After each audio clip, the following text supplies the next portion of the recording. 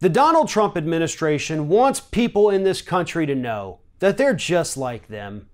They put their pants on one leg at a time and they struggle to differentiate the tones in the audio clip as to whether or not they're saying Yanny or Laurel. So, in an, in an attempt to humanize themselves a little more, they put together this fun little video to show you that, hey, we're not monsters 24 7. Take a look. Laurel. It's Laurel.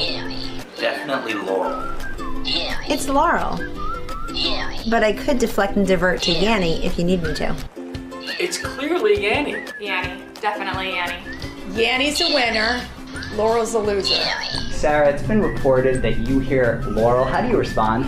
Clearly, you're getting your information from CNN because that's fake news. Uh, all I hear is Yanny. Oh man, that's Laurel. Laurel. It's it's Laurel, America. Definitely hashtag Laurel. Yanny. Who's Yanny? I hear Covfefe. That's so cute, right? I mean, he said Covfefe in that tweet that time, and everybody made fun of him for being a moron, and now he's using it again. That's a good callback.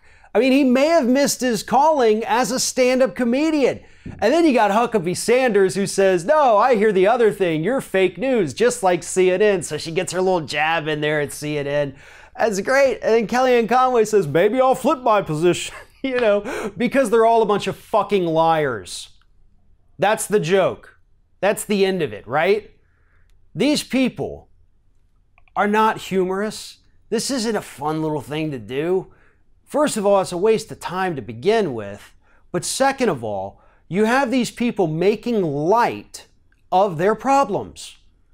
The way the public perceives them. Kellyanne Conway flips her positions constantly. She goes out there, lies on behalf of the president, as does Sarah Huckabee Sanders. She insults members of the media by calling them fake news.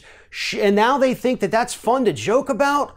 Weren't these the people who were just triggered by a comedian making fun of these people for doing the exact same thing?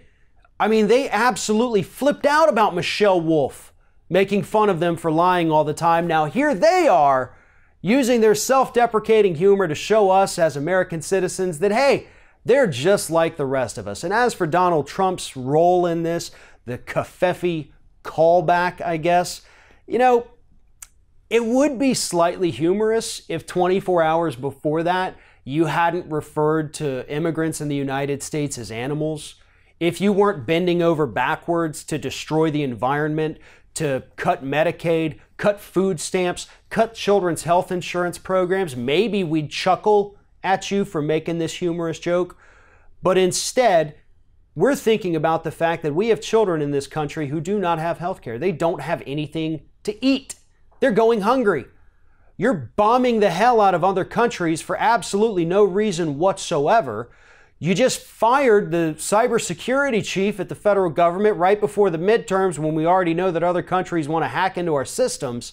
So why should we laugh with you? Why should we think that you're humorous for putting together this little video? You people are monsters.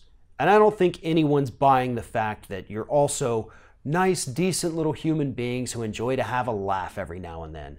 Because as soon as that little camera stopped rolling, you guys went back to work lying to the public and trying to destroy everything that once made this country great.